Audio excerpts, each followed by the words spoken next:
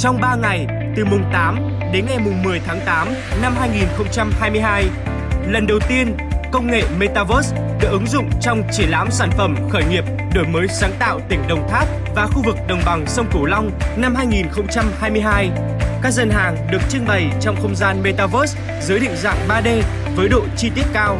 Khách tham quan có thể tạo một nhân vật 3D theo sở thích, sau đó tham dự Metaverse bằng máy tính cá nhân, laptop, điện thoại, kính thực tế ảo mọi lúc, mọi nơi và đều có thể gặp nhau, trò chuyện, tương tác với nhau như ngoài đời thật thông qua các tính năng nhắn tin, chia sẻ màn hình, tạo cử chỉ, cảm xúc. Các sản phẩm khởi nghiệp đổi mới sáng tạo được giới thiệu thông qua nhiều hình thức, nội dung đa dạng như tranh ảnh, video, vật thể 3D, hệ thống công cụ quảng bá giàu thông tin.